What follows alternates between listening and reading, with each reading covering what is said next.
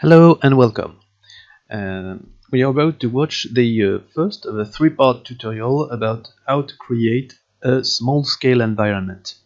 Uh, by small-scale environment, I, uh, I mean not a large landscape with lots of, uh, of uh, distant objects, but small objects closer to the camera that need more details. Something a bit similar to this scene I made a while ago, which I called a waterhole maybe not with the leopard but you you see what I mean by small scale environment. Uh, this is part one. I will divide it in three parts because otherwise it will make uh, the tutorial a bit too too long. And this first part is uh, dedicated to terrain layout. We will use uh, the following software to uh, to make this. First Cinema 4D which you see displayed uh, with an empty scene on the screen then uh, Octane Render, which I use as a renderer generally. And then we'll use a software uh, dedicated uh, to terrain creation, which is uh, World Creator. Let's get started. First, we'll create a scene. I've got an empty scene here, and we'll create our terrain on a plane. Uh, small scale terrain, I think 50 meters in every direction will be enough. Let's move the camera. And then uh, this terrain we will displace um, with a Cinema 4D displacer and then add uh, Octane Render displacement. This is different uh, from the technique I used on another tutorial um, that uses only Octane Render displacement. In order to enable displacement, we'll need to add segments to the terrain. Let's go for 400 for every direction. And maybe display shading lines. We have our displacement ready. We do not need uh, too many details because this will only give us the outline of the terrain. Then we need to uh, to create the terrain itself. Um, I will not use uh, the uh, uh, Cinema 4D landscape or a uh, or a noise. I will use a terrain created specifically in World Creator. So here is World Creator. This is a version um, release candidate 14, the latest version, which dates back from the 25th of July this is a, a small update of this program which is constantly updated uh, by its creators. So uh, we'll uh, define first the shape, uh, general shape of our, of our, terrain. Here, to do so, I generally use the custom base shape.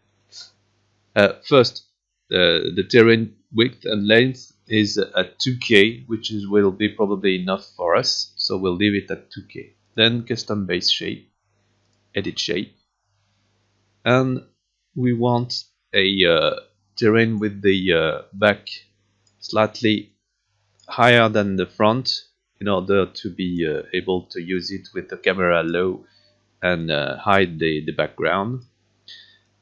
And then uh, we'll uh, create some sort of river or small water area in the middle. So this kind of shape will be will do fine. Let's click done and then go to filters. And let's add a first layer uh, we'll call it uh, river, uh, river and uh, add filters to it I will use design filters uh, to create the river. I think uh, mm, both of them could be usable, but uh, I'll use uh, maybe a path. So we'll create a path from uh, the, this side to the front. Not really a path, but we'll use it for the river. So create a path and then edit path to um, add some uh, uh, new points. Left shift plus mouse click.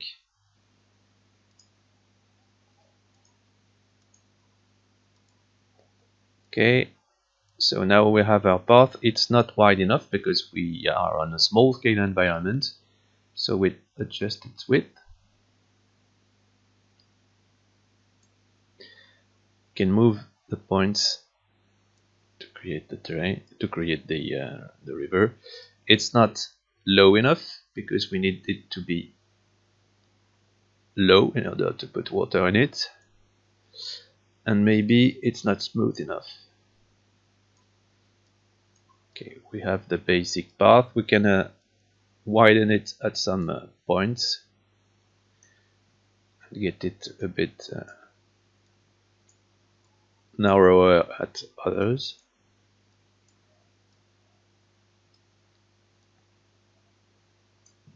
doesn't seem to be doing anything on the first point.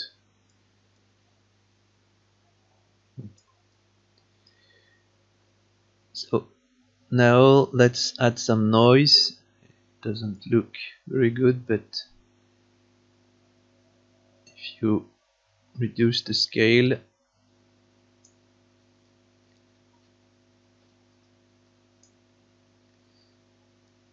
okay. And then the level step. The lower you go the less uh, uh, detailed there will be.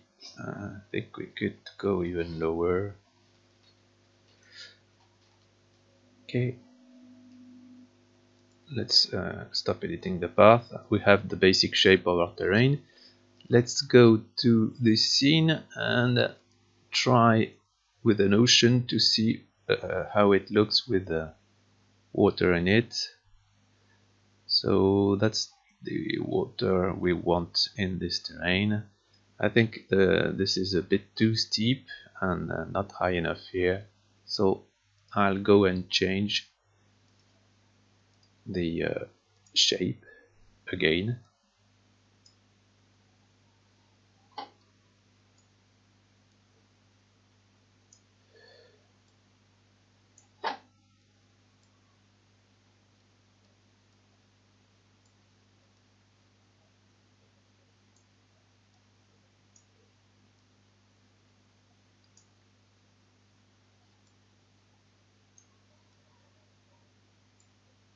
okay done. And go back to filters. We have our basic uh, our base shape. Uh, I think it will look nice when uh, seen from here. Maybe lower the ocean. Uh, so uh, path could go even lower. Uh, with less smoothness uh, and lower the ocean. Okay.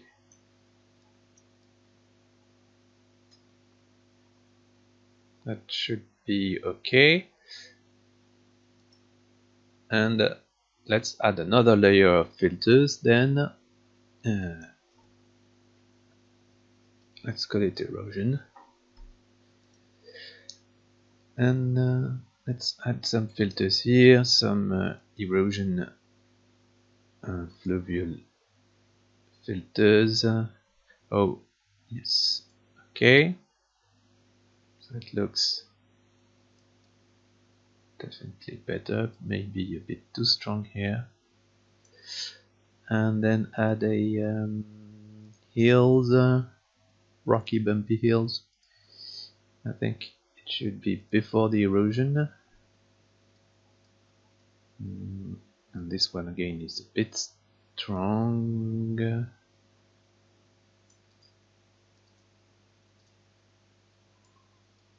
okay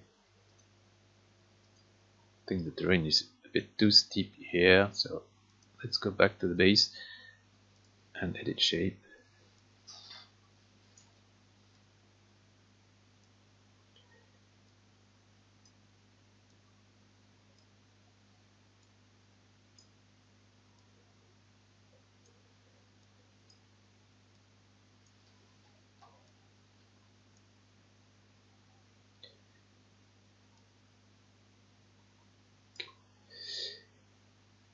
done.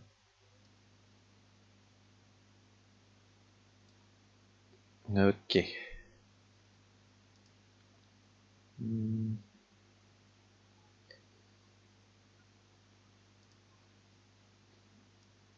I'm still trying to figure out how to handle this. Maybe it will be a dry and out uh, river with just a pool of water remaining. This will be easier to manage. And I think uh, this view will be will be fine.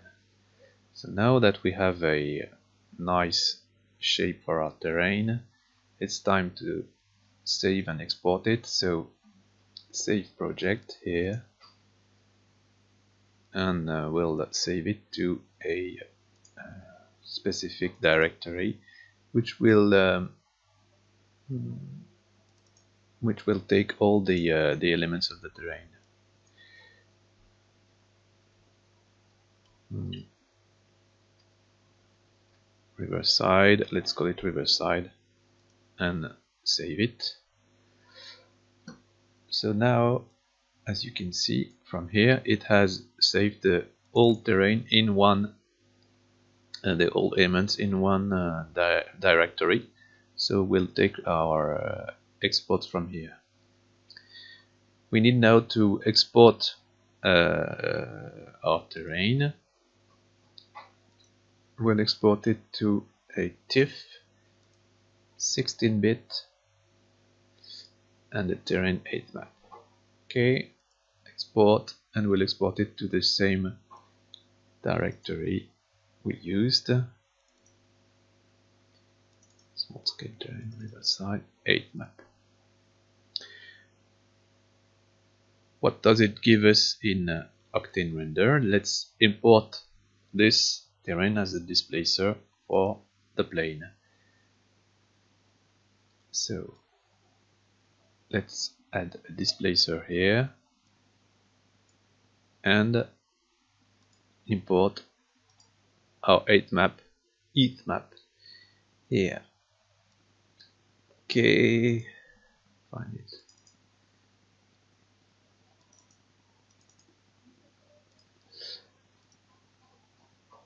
no? So it's been displaced but very slightly. We have a 50 meter terrain. Uh, let's displace it by 4 meter. 5 okay. 5 is better. Okay. Now we have our terrain ready. Uh, let's adjust the daylight as you can see there's uh, artifacts on the on the sides of the terrain so we'll remove them by going back to the displacer shading mapping and remove the tile. And this solved the problem. Uh, well okay. Ah there's a, a slight uh, issue with the, the recent um, uh, versions of the World Creator, it uh, reverses the, the terrain. So this one is uh, flipped uh, left to right, I think. So we need to flip X and then resave. And what I'm doing here is uh, going back and forth between World Creator and uh, Cinema 4D uh, will be uh, what we'll do for the next few minutes because uh, it's perfectly uh, possible to change things with this method. So if I just reload the image I change my whole terrain. I flipped the axis. I just need to go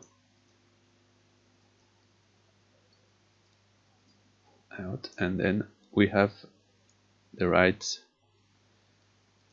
uh,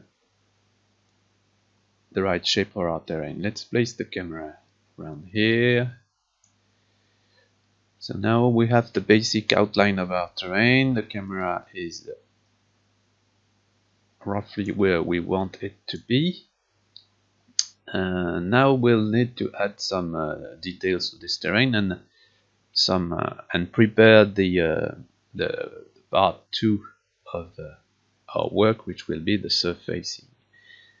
Uh, first, okay, let's light it that way. So, in order to prepare the surfacing, we'll go back to World Creator, remove the ocean, and we'll need three surfaces basically one for the river bottom one for uh, basic uh, terrain which will uh, be uh, grass uh, around the, the river and one for rocks on the sides of the river. So let's go to textures and add a texture layer.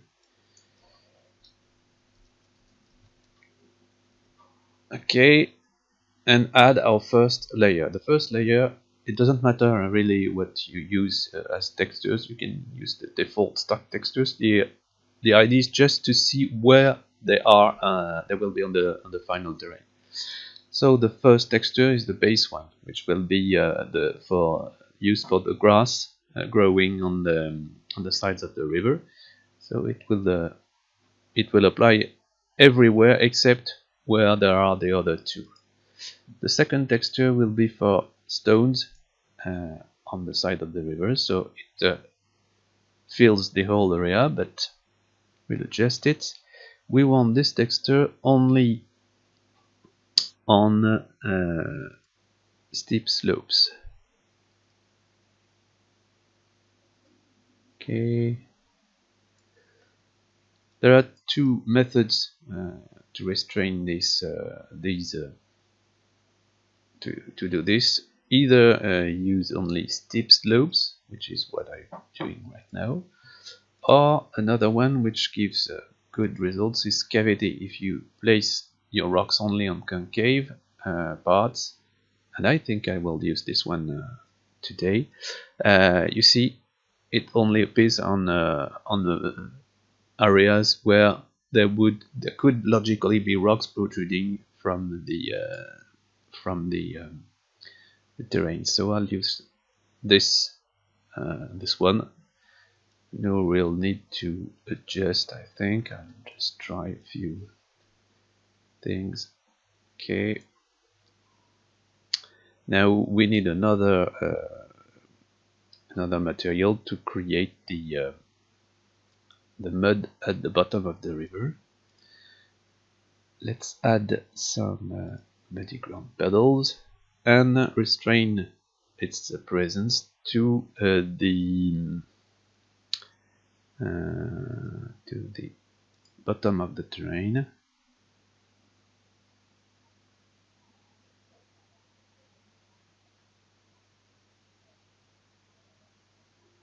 Yes.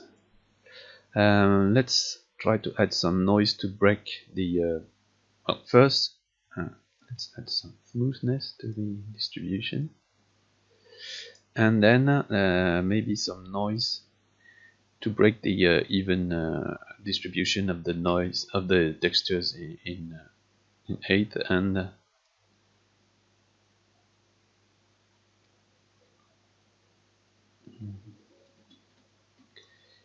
okay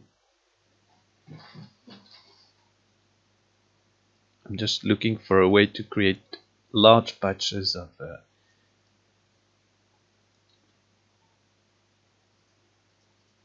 of noise here in order to avoid the regular look and uh, to avoid the um, reduce the octave.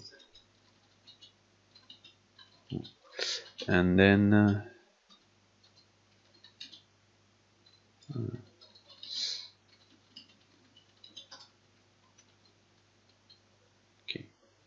That's okay for me. Now we have three different textures appearing on uh, different areas. This is a way to preview the distribution. Let's save the project. And uh, now we need to export the uh, distribution of these textures. It was it used to be handled here in this area, but now I think it's here. So textures, and we'll export it as uh, oops not textures. Surface uh,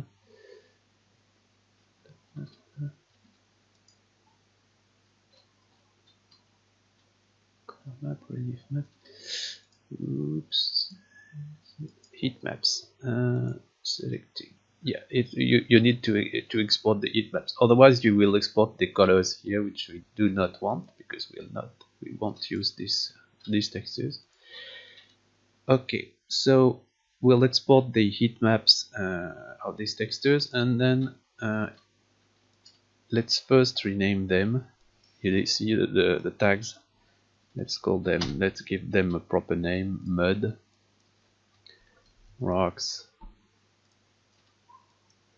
grass. Okay. And let's go back to the export so heat maps textures jpg we need to flip the x-axis because otherwise it won't work. And export. Uh, okay. Let's call them heat maps.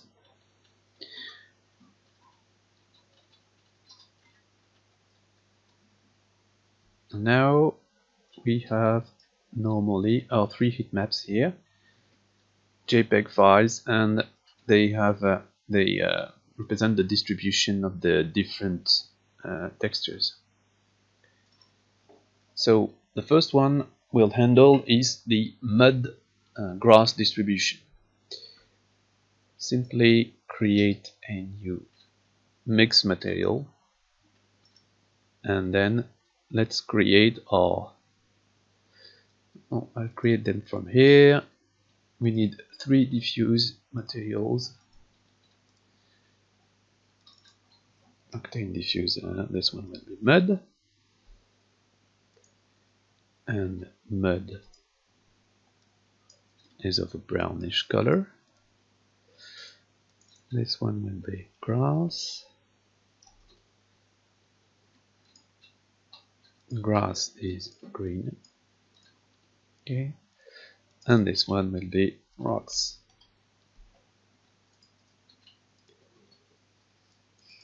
Rocks is great. And then base terrain here and we'll use it to uh, for to mix the different materials on the first layer. What we'll do here is that we'll use a layered approach to uh, the surface of this terrain. Octane Render does not allow uh, layers, so we'll layer two terrains, one on top of, of, another to handle this. The first terrain will be easy to, uh, to, to, create because we'll use the uh, the um, uh, mix on it and we'll mix grass and uh, mud grass and mud. To mix them and to use the to define the amount we'll use the uh, one of the heat maps we have exported which is the mud surface heat map. This is what we'll we are going to to do uh, to use them on here. And of course it's the, the reverse so maybe we can invert it.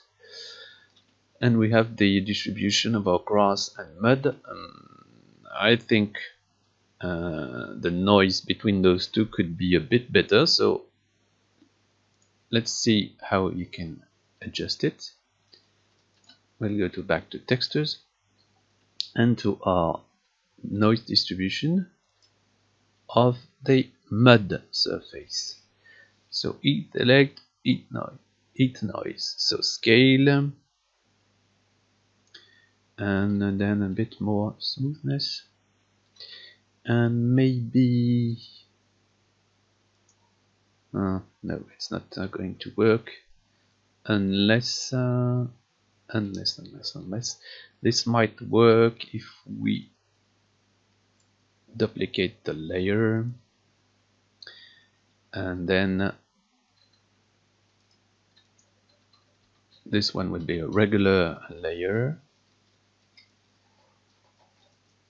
and the second one will extend the uh, the mud to the uh, to the uh, hollow parts of the terrain. This looks a bit better. And now, in order to uh, um, in order to make these uh, changes, um, I'm not sure it won't work because there are two layers here, so we need really to have only one. Uh, let's remove this one. We can only have one mud layer. Uh, I don't think it will be. We'll need to combine both of them uh, in uh, in Oct uh, Octane uh, afterwards. So switch back to this and just reduce the eighth range, make it fit a bit better the terrain. And um,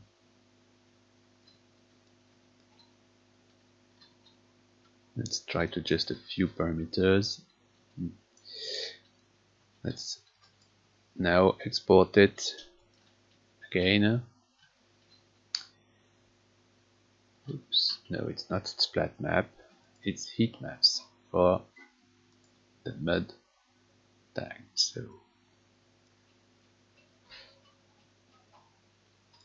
Normally it should have overwritten the uh, previous previous heat map. And what we now need to do is just to reload and it adjusts the uh, distribution map. Now we've done the easy part. Let's uh, let's do the um, the rocks. The rocks will be uh, placed on a on a different plane and we'll uh, place it underneath the first one so that they just pop out in different areas. So we'll create another plane called rocks and we'll apply the rock texture to it and it appears everywhere so it's not really what we want.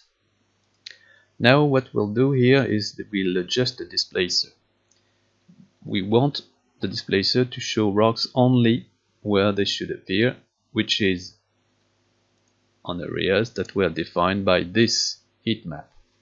Okay, so instead of using a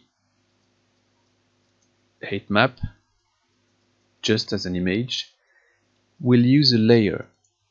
We'll use two different images layered in order to define the heat map and we'll add the second one which will be our rock surface as you can see of course we displace it with the uh, with the uh, noise with the uh, not, the noise but the, uh, this uh,